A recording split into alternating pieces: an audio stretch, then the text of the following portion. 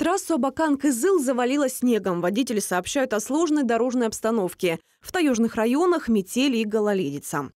Осадки на этой неделе обещают и в Хакасии. Местами по республике мокрый снег. Ночью уже стабильный минус. Днем все еще держатся плюсовые отметки. Возможен туман и гололед.